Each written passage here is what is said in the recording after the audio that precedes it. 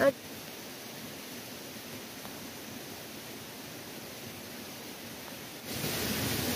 assalamualaikum. Selamat datang di channel Sebuah Pembuki Jono.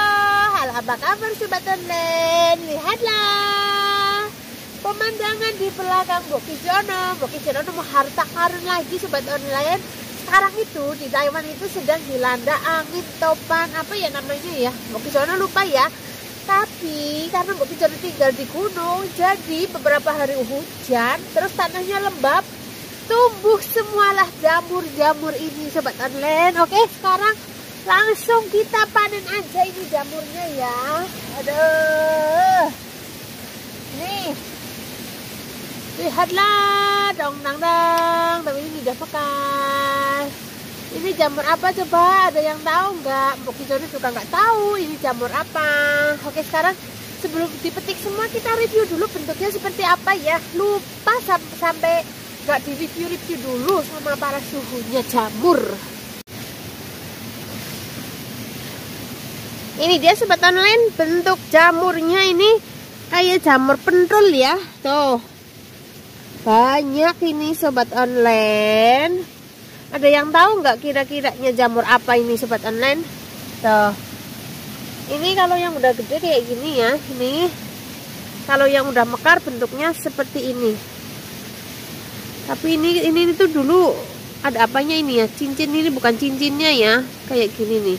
Nah bentuknya itu seperti ini kalau yang sudah mekar. Warnanya berubah ya karena ini udah mekar kayaknya udah kira-kira masih bisa dikonsumsi atau tidak? Ini seperti ini tadi ya. Bentar, aduh.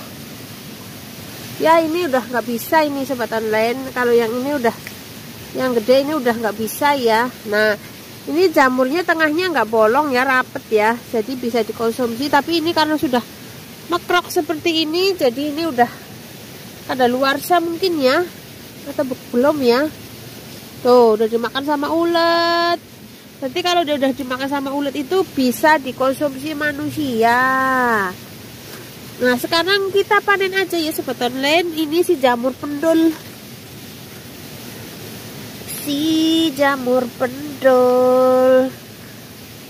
Tuh nanti kayak gini tuh dianya mekar mekar dengan sendirinya ya sobat online ya seharusnya jangan sama empuk-empuknya ya biar tumbuh terus ya.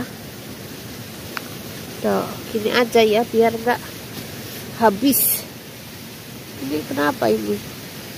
Biar enggak punah.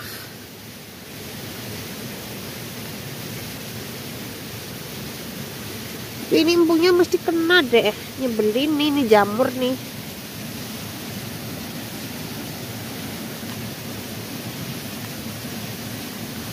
aduh mantep kali. Ini yang tumpang tende jamurnya tumbuh jamur. Ini sebatan len. Jamurnya tumbuh jamur ini kasihan banget ini. Aduh ini jamurnya kenapa? Ini jamurnya tidak tumbuh dengan normal. Oke. Ini empunya jangan sampai kena barbuso biar tumbuh lagi nah gini aja motongnya potong gini aja nah begitu Bagi Jono itu kalau petik jamur itu sebenarnya nggak suka sama empunya ya kayak gini tuh kasihan. Nanti akarnya habis nggak tumbuh lagi deh. Ah, lumayan banyak nggak tahu ini tanahnya itu dia itu memiliki jamur sendiri-sendiri ya kalau bagian sini itu selalu tumbuh jamur yang kayak pendol seperti ini sobat online tuh jamur pendol nggak tahu Mbok Kicono nyebutnya mau jamur apa ya orang Mbok Kicono nggak tahu jenisnya ini si jamurnya belum mekar Hmm. Ini yang kasihan banget ini. Kelainan genetik. Itu yang sudah mekar diabaikan saja ya. Nih, udah. Warnanya ini jamur ini memiliki dua warna seperti ini ya. Depannya seperti ini, belakangnya seperti ini. Hmm.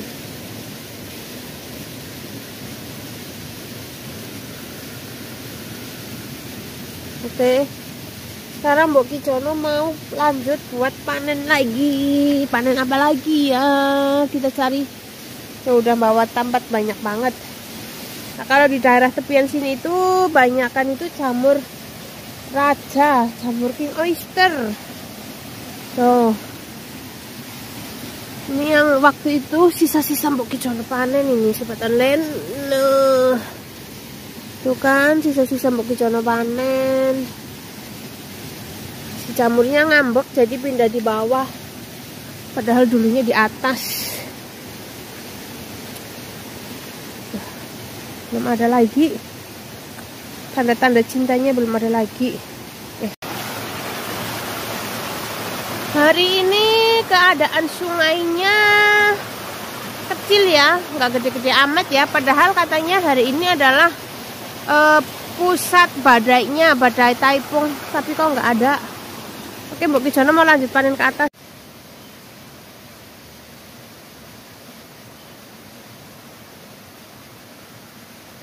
Oke sobat online setelah tadi kita panen jamur sekarang Bu Kijono mau lanjut buat panen sayur amis-amisan atau hatayun korudata atau apa nggak tahu lah online ya. Yang Bu Kijono tahu itu rumput amis-amisan ya. Karena musimnya ini hujan terus hawanya itu dingin. Paling enak itu makan sup yang seger-seger. Dan yang seger itu adalah hatayun. Dan oke online langsung kita panenin aja ini rumput amis-amisan ya mumpung eh mumpung belum turun lagi hujannya ya.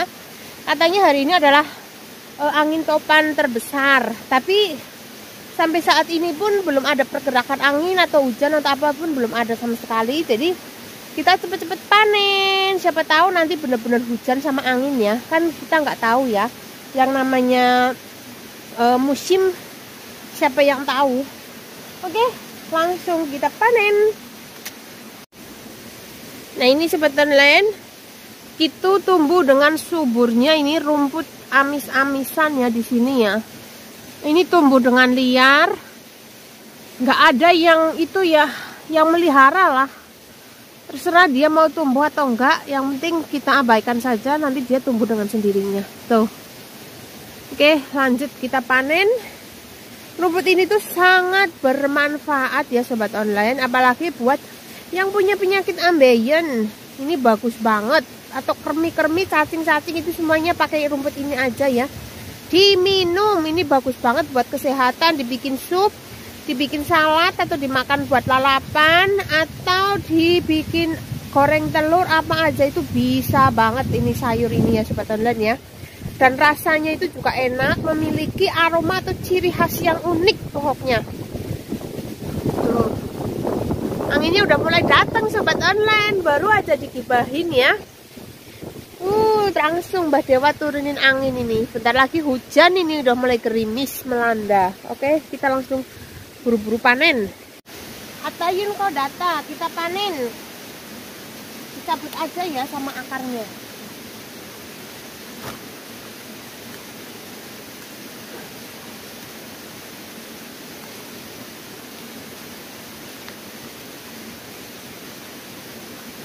mantap panenannya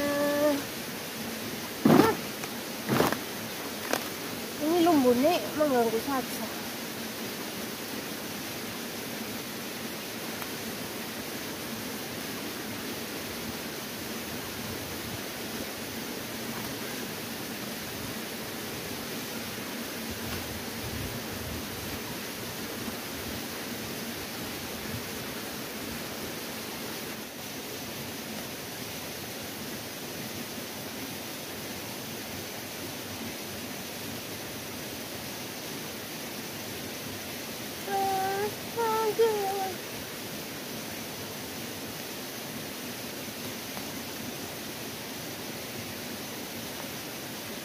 Boki John itu sambil ngantongin kopi nih tadi lagi. Dan sambil minum.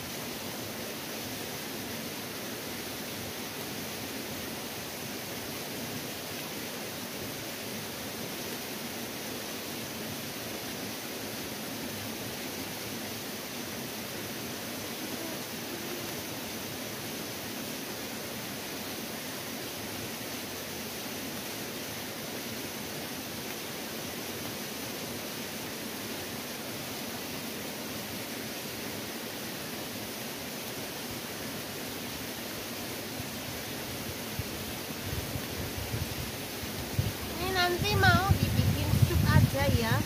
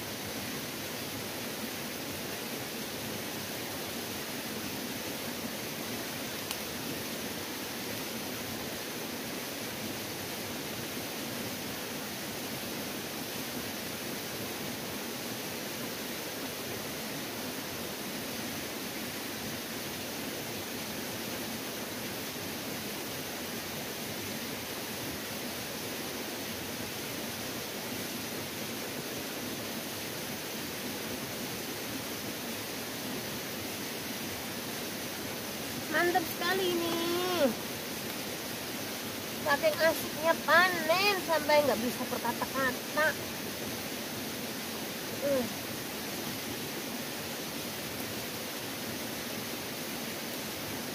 ini kalau mau dibuat lumpia Vietnam ini enak banget ya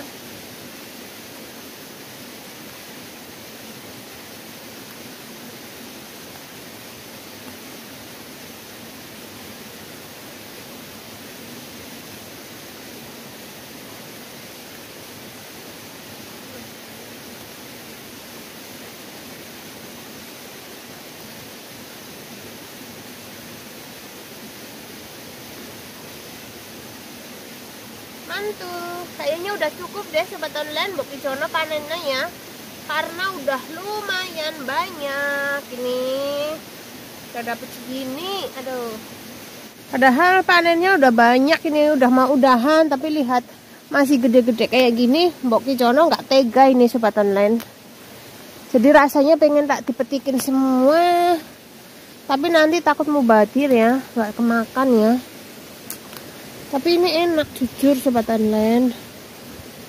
Terus bermanfaat dan berhasiat banyak khasiatnya pokoknya ya.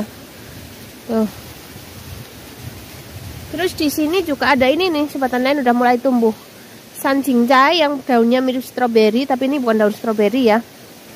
Itu kalau di sayur juga rasanya enak banget ini sobat online. Uh mantep pokoknya. Ini masih banyak banget. Udah aja ya. Udahlah padahal baru metiknya cuma segitu aja udah dapat sebanyak ini. Ah. Mantul kan? Nah sobat online mantul sekali. Mbok Kijono dapat satu nampah satu tambah full ini rumput Hatayun koridata terus dapat jamur juga itu. Jamurnya dicampur sama tempat HP sama ini tuh. Ini nanti ongseng jamur sama masak ini aja ya. Udah jadi lauk spesial. Ah mantep pokok main seger-seger banget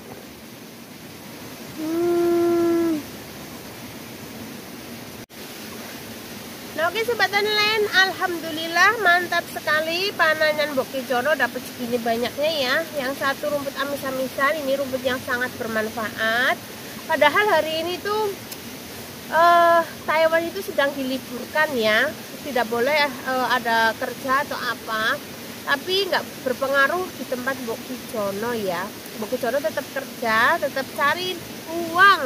Kalau yang lain mungkin pada itu ya yang itu berlaku buat para bos-bos aja cuma majikan-majikan itu katanya diliburkan karena ada angin topan beliung tapi tempat Bukit Jono cuma angin kayak gini aja silir-silir seperti ini atau mungkin belum datang belum sampai di sini atau nggak tahu ya cuma kayak gini aja nah sobat online sekarang itu kalau mau ke pasar ke mana itu nggak ada yang buka ya. Selama beberapa hari itu pasar itu tutup karena ada badai jadi nggak boleh ada aktivitas di pasar atau apa ya. Tapi mungkin Jono tidak kehabisan akal dan tidak bakal kehabisan sayur. Karena ada aja yang bisa dipanen dan bisa dimanfaatkan.